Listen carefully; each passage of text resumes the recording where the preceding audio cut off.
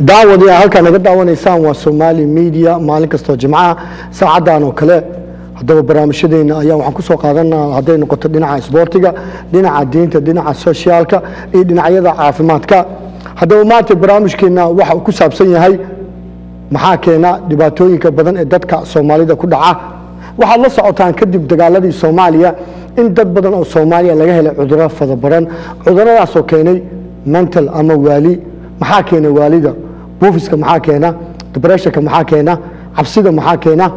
Ayaa waxaan rabnaa inaan ka waraysto aqoon-yahan doctor maxamuud cabdi xuseen ahna wiil dhalinyaraha ka soo baxay jaamacadda university of minnesota.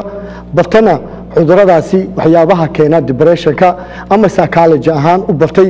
Waxaan rabaa bal marka hore in aan weydiiyo maxamed cabdi xuseen taariikhdiisa aqooneed halka ay gaarsiisan tahay bismi raxmaan raxiim marka hore waxaan u mahad celinayaa somaali media iyo maamulayaasha u soo dhoweeyey t v-gan. Marka labaad aniga dugsiga hoose dhexe iyo sare waxaan uga baxay gobolka baay. Aqoontaydii kale dheeraadkana waxaan ku qaatay maraykanka. Associatekii bachularkii waxaan ka qaatay m c t c iyo university minnesota.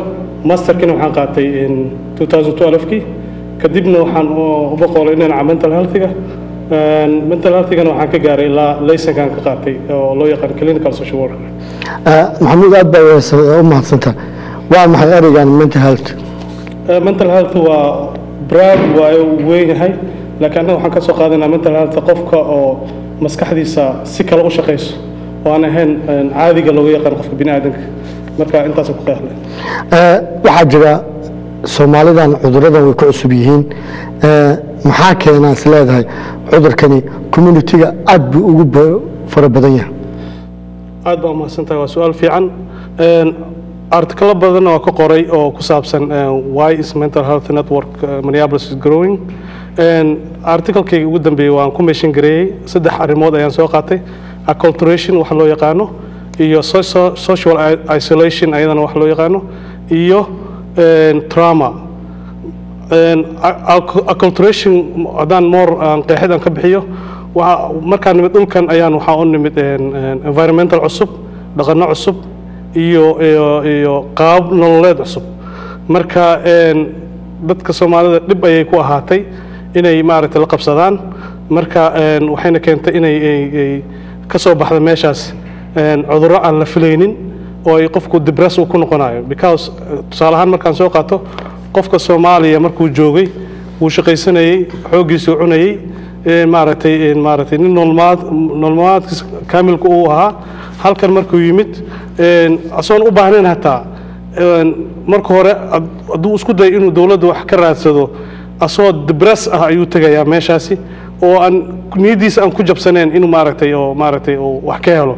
Marka taas waa xagga depressionka xoogaa ninka moraalkiisii ayaa hoos u dhacay soomaali ahaan annaga walwalna waa ka qaadayaa because wuxuu noqon doona allahu aclam. Marka taasna way keentaa tan saddexaadna waxaa waaye acculturationka ilmihii aan halkan ku dhalnay ayaa luqadii naga hormaray naga badiyo.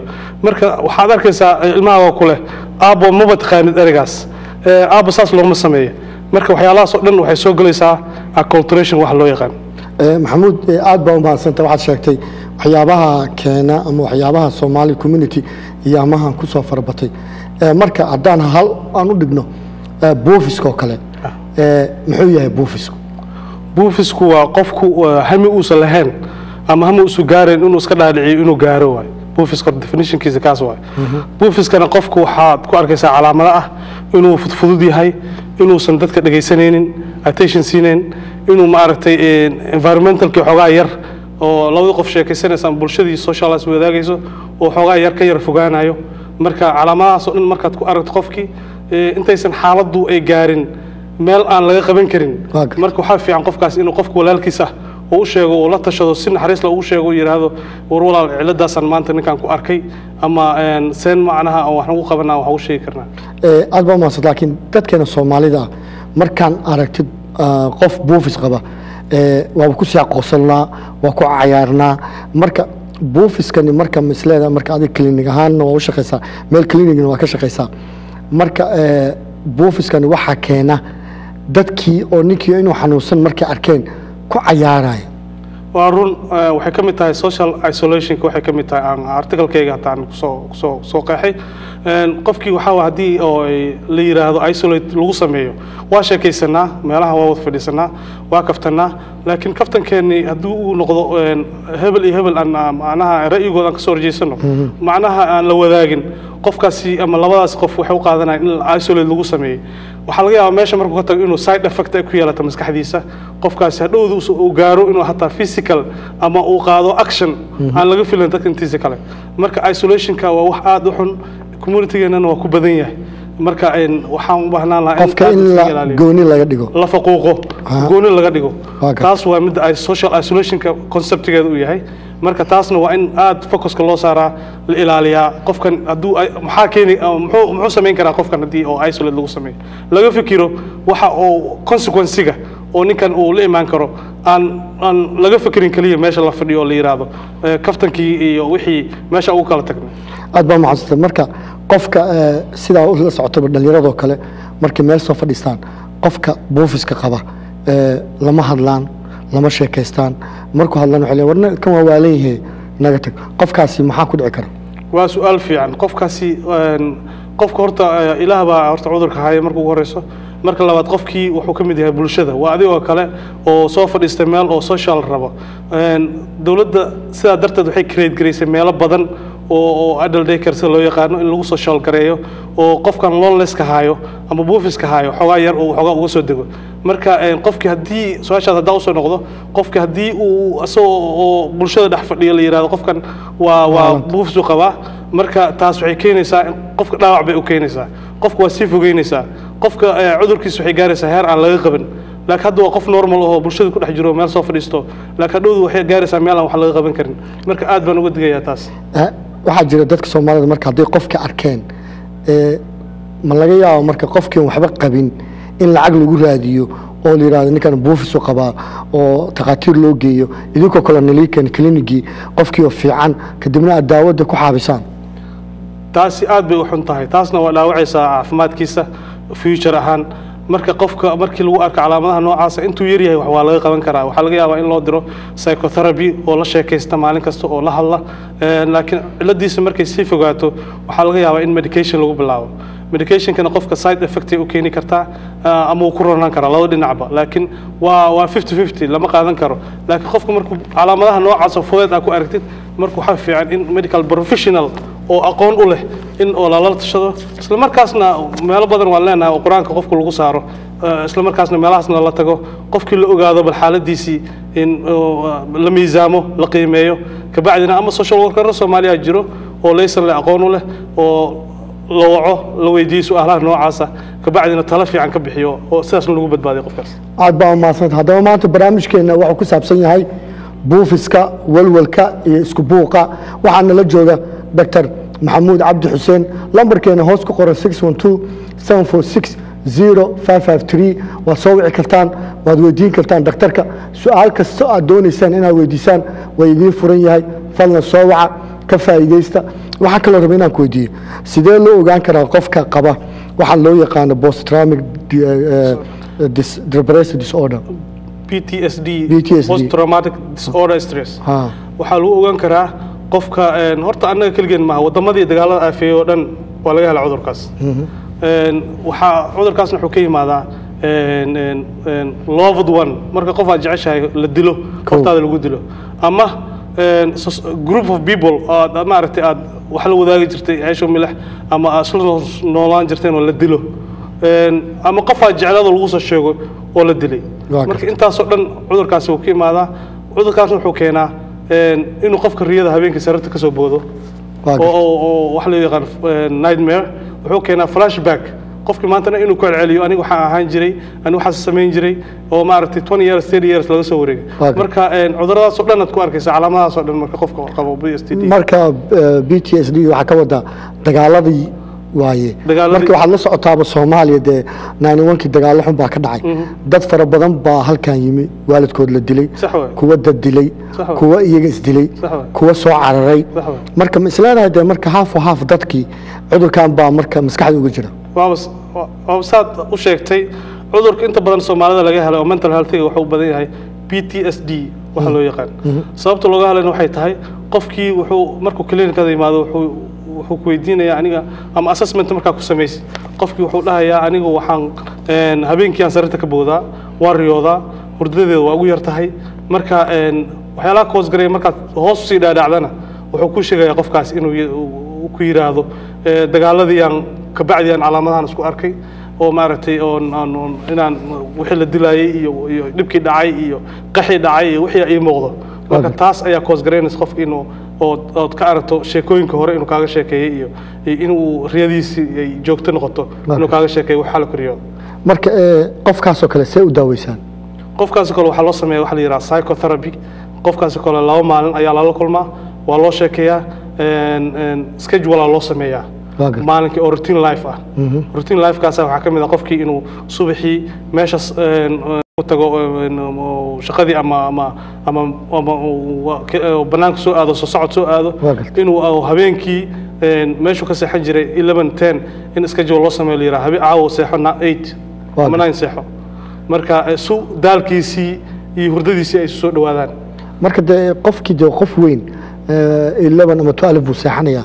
Idinka ma- marka ma kontrooleysaan oo qofkii ma la soconaysaan xilligu seexanayo iyo xilligu daawadii qaadanayo maya annaga schedulkan baan u sameynaa schedulkan qofku sameynaynaa haddii is wax iska bedeleen iyo haddii kalena waxaan ku ogaanaynaa assessmentgiisa labaad markii la gaaro ayaan evaluation ku sameynaynaa waxaa jira dad badan oo soomaaliya oo cudurkan aad sheegto ah qaba.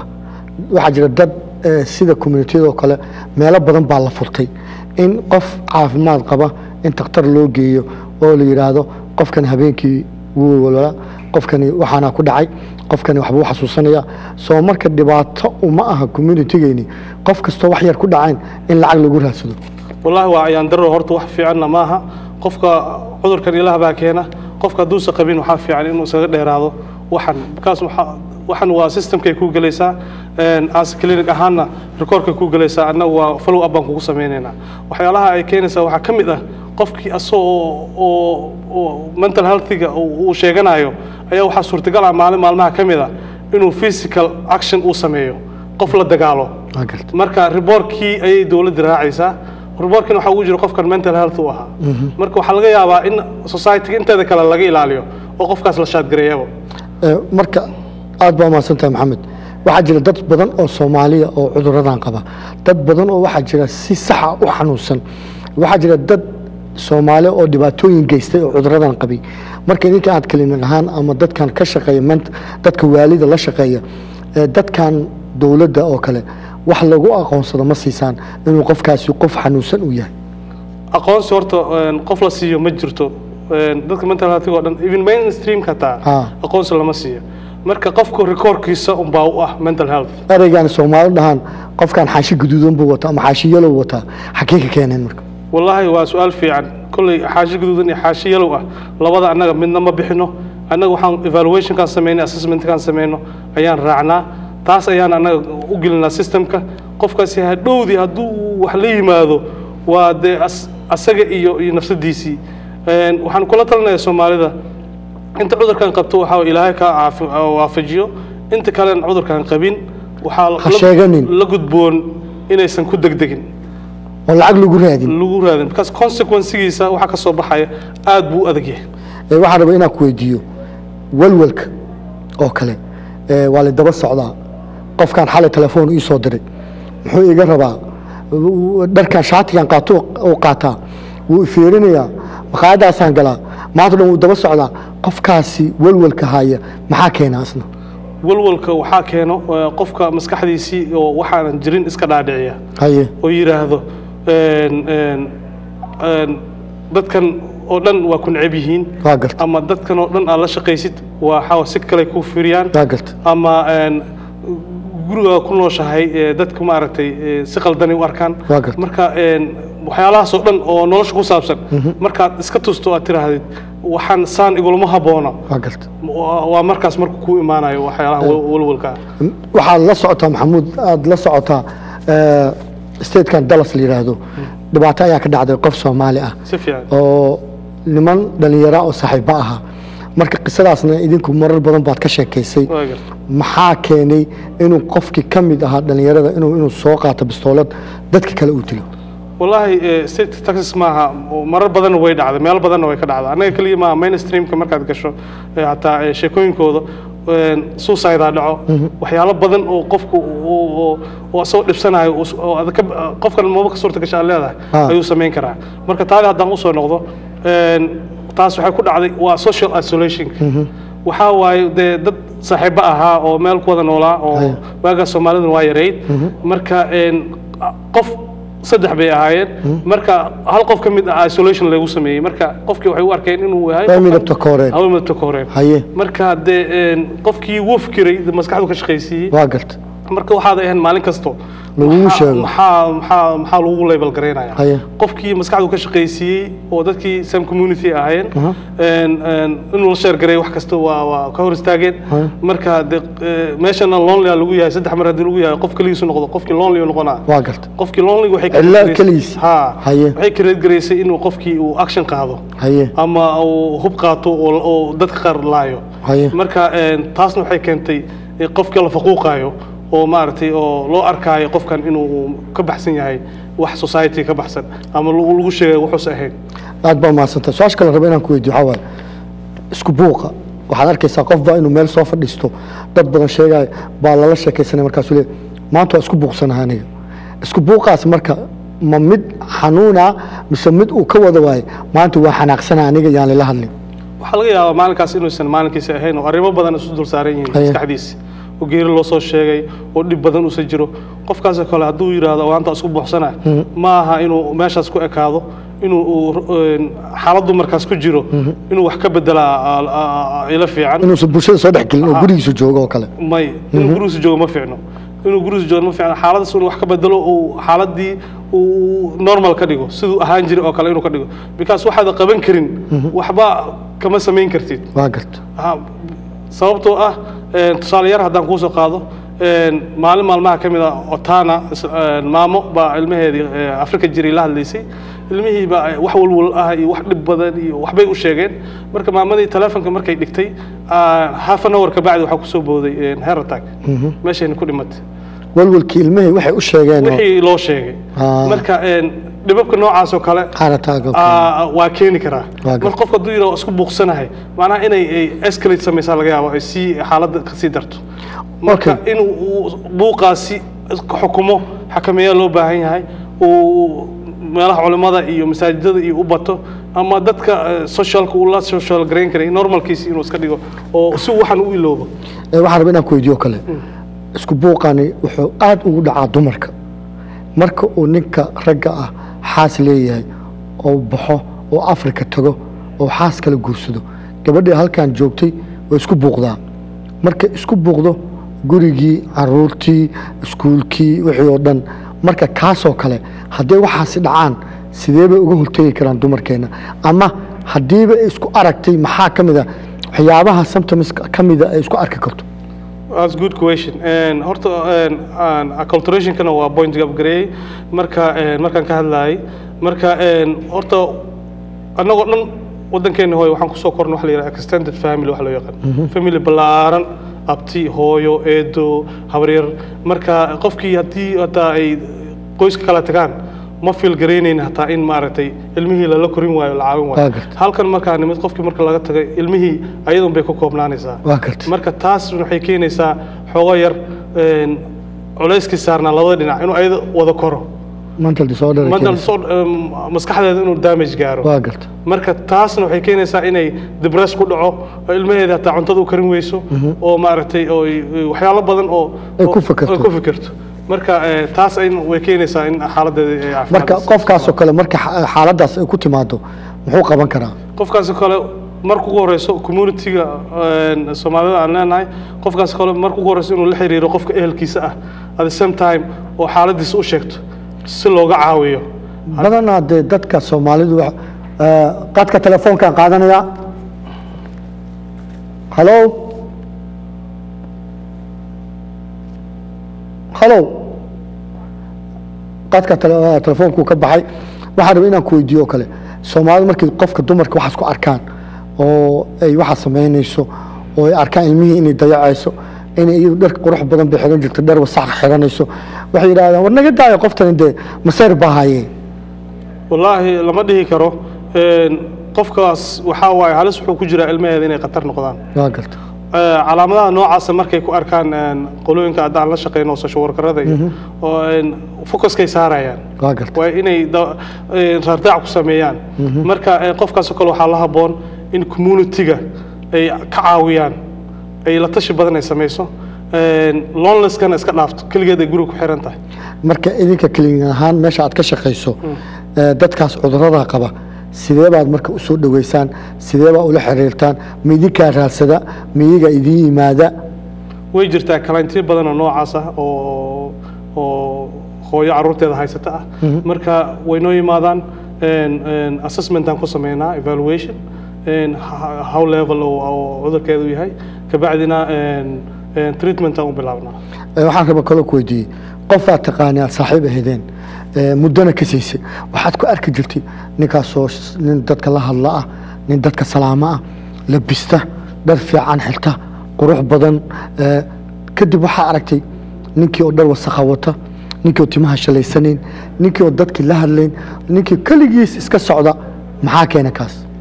Wallaahi waxaa keenay ninkaasi wuu fikiray.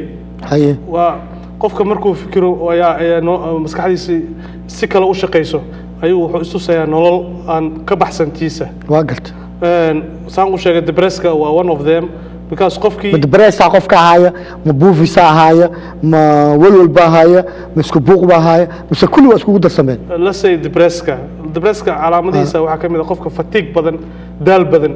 Aad baa maas maxamuud bal qaadka telefoonka qaadanaynaa halow asalaamu calaykum hay waa si fiican baa kuu maqalnaa walaa dhibka ugu weyn ee waddanka jira muxuu yahay cudurkee weye dibressurka soomaalida buugiska ma dagaalkii sokayaa ugu wacansa waddankan imay kala kulantay imay fahmi weyday ee sax aad baa umahadsantaa dibre that's good question. Depressionka marka waxaa waa environmentalka annaga ahanay mid maraykanka ayaa create gareeyay depressionka sababtoo ah waxay tahay qofkii nolosha halkan ayuu uu depress ku noqday. Macnaha uu kari- haye. Taas midda u muhiimsan taas waay. Marka dhaqamada halkan oo ah- oo aan la kulanayna lonleska ay ka mid tahay ay ka mid tahay woriga anza- cabsida badan. Waxaasoo dhanna way keenaan. Marka waxaan halkan ugu nimid maaha waxa waddankeena ka yimid maaha. Marka depressionka hadda shay tii oo kale oo kale. Marka qofka waxyaabahaasaan ku arkay nin labisan jiro qurux badan oo isbedela oo dhinac dadka ka istaagaya qofkii aan salaamayn marka qofkaasi marka ma- haddaad tirahdo wariniyo maxaa kugu dhacay? Ma wallahi iska caadiyaan anu dhib ma qabo. De qofkiina ma xanuunsana. See qofkaasi marka loola tacaali karaa oo takhtar loo geyn karaa. Wallaahi good question. Aniga horta soomaali ahaan qofkii hataa community ahaan ehel ahaan qofkii marka calaamadahaas aan ku aragno waxaa taabuu oo kale waan qaqarinaa xogaa waxaad moodaysaa in soomaalida kale ay ka baqayaan oo hebel xogaa calaamadaas aan ku aragnay inay dhihin ay ka xishoodaan dhici karto. War waxaa jiro social workero soomaaliya jiro oo arrintaas ka idinka caawinayo. Marka inaad la soo aa- marka hore ugu muhiimsan. Mar labaad kale qofka hadduu ciladaas uu qabo ee, waxaa la haboon inuu medical professional uu isla markii loo raadiyo. Ama shifada qur'aanka la akhrinayo hataa one of them waa in la geeyo. Oo- laga caawiyo qur'aanka loo akhriyo laakiin eh, waxaa la yidhaahdaa idinka ahaan waxaana lagu xantaa idinka xataa in aad dadka daawooyin fara badan aad siisaan oo daawooyinkaas dadkii ay cayiliyaan ay buutaan ay ay dadkii qofkii uu si kale u noqdo oo idinka xataa lacag aad ku raadinaysaan. Wallaahi lama dhihi karo. Annaga horta daawo ma siino. Social workerada daawo ma siiyaan psychiatristiga daawada siiya. Waa u dirtaan laakiin. annaga follow up aan ku sameynaa. Idinkaa u dira ayagaa noo soo dira psychiatristiga annaga noo soo dira. Kabacdi idinka maxaa marka samaysaan annaga follow up aan ku sameynaa medicationkiisii inuu qaato inuu treatmentkiisii qaato inuu uu- uu clinicada imaado. Intaasaan annaga aan shaqadeena ay tahay. Maxamuud aad baa umahadsantahay inkastaan la soo gaaray gabagabadii barnaamijka. Marka sidee looga badbaadi karaa? Cudurrada aan sheegnay. Wallaahi marka ugu horeyso qofku cuduradan waxaa looga badbaadi karaa inuu horta ilaahaysa aamino. Kow mar labaadkana qofku haddii ay la soo gudboonaato cuduradan oo kale waxaa loo baahan yahay inuu medical professional aqoon u leh. In loo raadiyo oo ka caawiya arrintan. Tan saddexaad ugu muhiimsan waxay tahay annaga dhaqan baan leenahay culture baan leenahay diin baan leenahay in shifada meelaha wadaadada iyo qur'aanka ku akrinaya la geeyo si fiican qofkan loo ogaado xaaladiisa. Marka maxaa kula talin lahayd dadka soomaalida community? Maxaa kula talin lahaa qofka mental healthiga lagu sheego maaha inuu nolosha ka baxay. Ninka nolosha kama bixine ca- maray mara wuu soo noqon doonaaye markayaan give up la siinin. Soomaalida waxaad arkaysaa eh, mental health lagu sheego inuu xaaladii ka baxay ama ama advocacy uusan lahayn uusan lahayn. Marmar waxaa dhacdo ka- annaga county iyo iyo countiyo badan in lagaa soo waco la yidhahdo qof soomaali oo mental health aan haynaa war dadkan soomaaliyu ka dhashay qofka mental healthigana noloshiisi maray tahay wuu soo noqonayaa. Marka dadka ehelka u ah qofkaasi in ahaadaan advocacy. Klinikada markuu tagayo inay raacaan la socdaan. la socdaan xaaladiisii. Maxamuud dadka soomaalidu wa- waali waxay u yaqaanaan qofka markuu dharka dhigo katiinada lagu xiro laakiin wadankani waalida waxay u yaqaanaan qofka buufiska qaba qofka isla hadla qofka gurigiisa markuu u socdo guri kala aada. Marka dadka soomaalida ama isu arkin waxaan cudur weyn inuusan ahaynba. Wallaahi qofka hadduu xaaladii routine lifeka uu ku jiray hadduu uu ka bedelan yahay aad aragtay qofkaas in lala socdaa markasta muhiim ee qofka fiiri shaqo la'aanaa ku dhici karta. Wuu shaqaystay. Guriguu deganaa. Sideed boqol oo doolar uu bixin jiray. Shaqadii waa laga soo celiyey. Intuu shaqo kala raadinayo gurigii jaarkii baa ku taagan telefoonkii baa ku taagan. Inuu xoogaa isla hadlo u dhaho intee wax ka keenta intee wax ka raadiya. Qofkaa marka idinkuma waa leedin waa waaliya may taas lama dhihi karo. Qofka bini aadanka horta irsaaqdiisa waxaa la qoray markuu dhalana lah maxfuudka lagu qoray. Waa garta. Laakiin isku buuqsan yahay. Maya. ah qofkii xaalad qofka hadduu uu- uu xaaladu aamino inuusan waxaan uusan awoodi karin marka ugu horeyso waa inuu sida ugu dhaqsaha badan la tastaa qofkii oo intuusan xaaladda aysan meel xun gaarin. Waa garta.